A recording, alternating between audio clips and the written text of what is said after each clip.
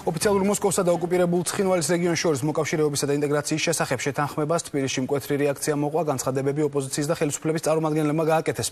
და ახლა ჩვენ შესაძლებლობა გვაქვს შერიგებისა და სამოქალაქო თანასწორობის საკითხებში სახელმწიფო მინისტრის პაატა ზაქარიაშვილის მოსაზრებები მოვისმინოთ ამ თემაზე. ის პირდაპირ ეთერში უპასუხებს ჩვენს კითხვებს. ბატონო პაატა, მოგესალმებით და პირველ რიგში მინდა მოვისმინოთ თქვენი შეფასება იმ ხელშეკრულების გაფორმებისა, რომელიც კრემლში მოხდა. საღამოშვიდობის რა თქმა უნდა ეს მოსალოდნელი იყო ამ ეგრეთ წოდებული ხელშეკრულების ხელმოწერა თუმცა რაღაც პერიპეტიები იყო მაგრამ ამ საერთო მნიშვნელობა არ ქონდა არსებითად. ფაქტია რომ ეს მოლოდინი გამართლდა და ამ დოკუმენტს ამ ტექსტს ისეთივე ძალა აქვს, რა ძალაც აქვს 80-ზე მეტ სხვა ამ ტიპის ხელშეკრულების, როგორც აფხაზეთის მმართველები, ცეცხლოს მმართველებით, მაგრამ მე მოხარული ვარ, რომ ჩვენ ჩვენი ხელისუფლება ყველა ასეთ ასეთ მოვლენაზე საკმაოდ სერიოზულ საერთაშორისო მხარდაჭერას ღებულობს, ძალიან ძლიერად კარგად მუშაობს ჩვენი დიპლომატია და არც ერთ ამ ტიპის ხელშეკრულებას, რომელიც ადრე ეგრეთ წოდებული ხელშეკრულებას ადრე საერთოდ ყურადღება არ ექცეოდა წინა ხელისუფლების მხრიდან, ჩვენ საკმაოდ სერიოზულ შტურმს ვახორციელებთ საერთაშორისო თანამეგობრობის ხარდაჭერი და ნულზე დაყვავს ამ ტიპის ხელშეკრულების ნებისმიერი იურიდიული ძალა. ასე არის მე მგონი რომ დიდი მადლობა და გადაუხადო ჩვენს თანამეგობრ სახელმწიფოს რომლებიც ძალიან გვერდში გვიდგანან და გუშინ დაიწყეს გუშინ დელითიდან დაიწყეს უკვე რა თქმა უნდა ამ ხელშეკრულების ეგეც უნდა ხელშეკრულების შეფასება იყოს უკანონო და იურიდიული ძალის ამქონე დოკუმენტი. ბატონ ბატა თქვენ როგორ ფიქრობთ? უნდა შეიცვალოს თუ არა ამ ხელშეკრულების და თქვათ იგივე აფხაზეთთან გაფორმებული ხელშეკრულების შემდეგ საქართველოს პოლიტიკა რუსეთისადმი რაიმე სახის ურთიერთობები თუ უნდა შეიცვალოს ან საგარეო პოლიტიკას თუ უნდა გადახედოს საქართველოს თავრობა. ჩემი აზრით არათა შემთხვევაში, თუმცა მე არ არ ხელმძღვანელობ საგარეო უწყებას და ამიტომ ჩემი სიტყვები მე ჩემი აზრი გამაჩნია ბუნებრივი და მოგახსენებთ, კითხავს არ გავექცევი, მაგრამ მაინც ეს არის რა თქმა უნდა უფრო სხვა სამსახურების საქმე, მაგრამ მე კაფეოდ მიმაჩნია არათა შემთხვევაში უნდა შეიცვალოს, სწორედ რუსეთის ეს საკმაოდ უღიმღამო, იმიტომ რომ მისი ეფექტი არის ნულისტოლი. ქცევა ჩანს აშკარად რომ მას სხვა სხვა რამ ბერკეტები არ გააჩნია, განსხვავებით იგივე უკრაინის ნახეთ იგივე ბალტიისპირეთის ქვეყნების წინააღმდეგ როგორი მას ახორციელებს ახლა წუთრებს და შემდეგ ამ ფონზე რუსეთს გარდა ამ ქაღალდების თუ შრიალისა სხვა რა მართა რესურსები არ გაჩნია და მას სულად უნდა უნდა ამ ფორმით ჩაიყოლიოს საქართველოს კონფრონტაციაში და შეაცვლებინოს პოლიტიკა. ანუ ჩვენ არ თვითონ შეაცვლოთ პოლიტიკა, კაფეო და ცალსახად რუსეთთან ურთიერთობების თქვათ ასე დაალაგების ფონზე მოძრაობდეთ ნატოსაკენ და ევროკავშირსაკენ. ჩვენ თვითმიზანი რუსეთთან ურთიერთობა კი არაა. ჩვენ თვითმიზანი არის ევროკავშირთან ურთიერთობა. რუსეთთან ურთიერთობების გართულების გარეშე, ანუ მინიმუმზე დავიყვანოთ რუსეთთან ურთიერთობების გართულება და მაქსიმუმი მივახციოთ, რა თქმა უნდა, ევროპულ და ევროატლანტიკულ სივრცეში გაწევრიანების. ამიტომ კარგი პირობითად რუსეთთან დაალაგება ურთიერთობებისა, ეს არის ერთ-ერთი არა გადამწყვეტი არა იდეალური, რა თქმა უნდა, მაგრამ ერთ-ერთი მნიშვნელოვანი ბერკეტი, რათა ჩვენ უფრო შვიდად და გონივრულად, ნაბიჯ-ნაბიჯ გრადად მივდიოდეთ ევროპისაკენ. თქვენი ეს მოსაზრება პრაღის ფორმატსაც ეხება, ვთქვა, საერთოდ არაფერი არ უნდა შეიცვალოს ამ ფორმატში, თუნდაც იგივე ჟენევის მოლაპარაკებებში. სასახად ჩვენ ხელმძღვანელს საკმაოდ დიწარმატებას მიაღწია, იმიტომ რომ გავყავით საკითხები, რომელიც გვარდება, რომელიც ვერ გვარდება.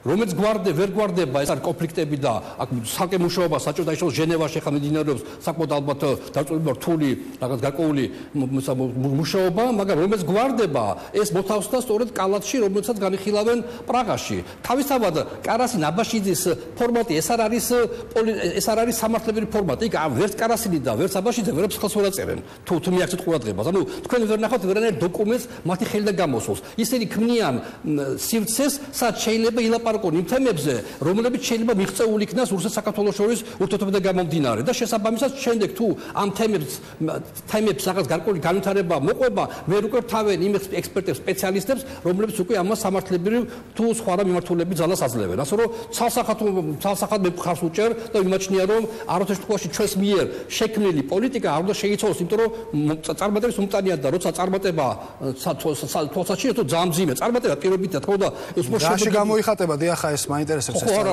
ამას არაერთხელ გულაპარაკია თქო და არაფერ პირდაპირ კავშირი მას არ აქვს თქო და კონფლიქტებთან ეს გამოიხატება სწორედ სოფლის მეურნეობის პროდუქტების მაგალითად უსულბაზაზე გატარით ეს გამოიხატება იგივე ტრანსპორტ სატრანსპორტო ურთიერთობების მაგალითად იგივე მიმოსულით. ანუ უამრავი სხვა არა კონფლიქტთან დაკავშირებული საკითხები გვარდება ახლა ნახეთ ბატონო ბატონო ბატონო ამ ფონზე რუსეთი მაინც დგავს ასეთ დესტრუქციულ ნაბიჯებს.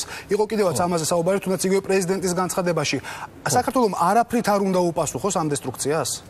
საქართველოს დისკუსიას უნდა უპასუხოს კონსტრუქციით კონსტრუქციული ნაბიჯები და დესტრუქციული ნაბიჯები. ანუ რუსეთს უნდა ადეკვატური ნაბიჯები გადავდგათ. ჩვენ უნდა გადავდგათ არაადეკვატური ნაბიჯები. თუ გვესმის ამ სიტყვის სრული მნიშვნელობა. ანუ ჩვენ მაგალითად მართუხლართებს თვითი უპასუხეთ, უპასუხეთ გაზი გაზიფიცირებით, უპასუხეთ საწყავი წყლის სისტემით, საწყავი წყლით, სასმელი წყლის გამართვით, სამატყოფოებით, საბავშვო ბაღებით. ანუ უნდა ისეთი ნაბიჯები გადავდგათ, რომელსაც არ ელოდება რუსეთი. ბუნებრივია ჩვენ თუ ჩვენს ინტერესებში არის რომ ქართული ღვინო, ქართული სოფლის მეუღლის პროდუქცია გაიყიდოს რუსეთის ბაზარზე, ისეთ ნაბიჯები გადავდგათ, რომ საქართველოს მინიმუმზე დავა დავა მინუს დაიყოს ზარალი. ჩვენ ემოციებში გვინდა გადავიდეთ, რა დამახასიათებელი იყო წინო ხელისუფლებისათვის. კი ბატონო, მაგრამ ამით ვინი ხეირებს, აი რა ხეირი ექნება საქართველოს. ამიტომ ჩემთვის ეკონომიკური წარმატება, თუ კიდე ერთი ერთი გლეხი მაინც და ერთი გლეხი არ არის, ათასობით გლეხია საქართველოს რომელიც მართლა წელში გამართა.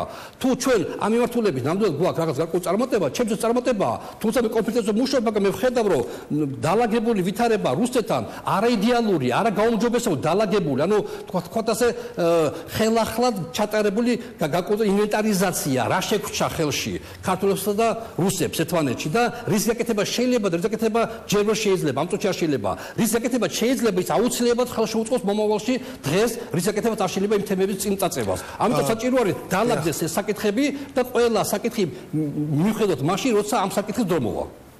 ბატონო პატა ფიქრობ თუ არა რომ ამ ხელშეკრულების გაფორმება არის კიდევ ერთი ნაბიჯი ოკუპირებული ტერიტორიების ანექსიისკენ.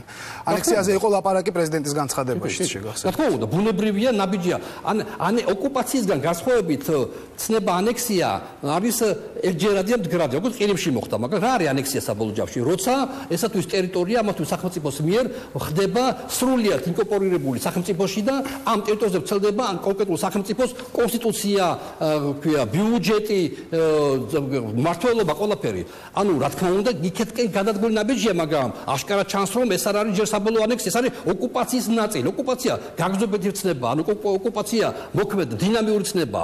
ანექსია არის უკვე სტატიკური მოხდა ანექსია. ანუ ანექსიისაკენ გადადგმული ნაბიჯია ბუნებრივია თუმცა ჩვენ კარგად ხედავთ ჩვენ თორწორედ უნდა გავანალიზოთ რუსეთის ნაბიჯები და ჩვენ უნდა ხედავდეთ რომ დიფერენცირებული პოლიტიკა აქვს იგივე. მაგალითად უკრაინასთან მიმართებაში ყირიმის კონტექსში ბატონო პატა ბოლოს მინდა გკითხოთ თუ შეიძლება რა დეტალებია თქვენთვის ამ ხელშეკრულების ცნობილი? მაგალითად გახმაურდა რომ რუსეთი და ოკუპირებული ცხინვალის რეგიონი აერთიანებენ თქვა საბაჟო სამსახურებს ლაპარაკია საერთო შეერაღებული ძალების შექმნაზე. თქვენ რა დეტალები იცით? კიდევ და თითრა მე როგორც სახელმწიფო მინისტრი არ ვაპირებ დეტალებში ჩაუღრმავდე მithumets ტექსტი გამოქვეყნებულია.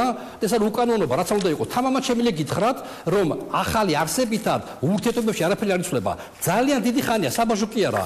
არ არსებობს არსებობს რამე გადაადგილება, რაღაც მოქმედება ცხინვალის რეგიონში, რომ ამას არ აკონტროლებდეს არა ვიღაც დიდი ჩინოვნიკი კრემლიდან, არამედ ადგილზე ვიღაცა რუსეთის კაკების რაღაც ვიღაც მაიორი. ანუ ცხინვალი სრულიად ათვისებული ყავს უკვე 2008 წლიდან მოყოლებული, რასაც ვერ იტყვით აფხაზეთზე, რუსეთს და შესაბამისად ამ ტიპის დოკუმენტები სწორედაც რომ მიმართულია იმისაც როგორმე როგორმე ჩაითვლიან საქართველოს კონფრონტაციაში. ანუ ჩვენი კაფე ამოცანა რომ არ არის კონფრონტაცია და მეტი მხარდაჭერა საერთაშორისო თანამეგობრობის. გასაგებია ძალიან დიდი მადლობა პატა ზაქარიაშვილი შერიგებისა და სამოქალაქო თანასწორობის საკითხებში სახელმწიფო მინისტრი პასუხობდა ჩვენს კითხვებს პირდაპირ ეთერში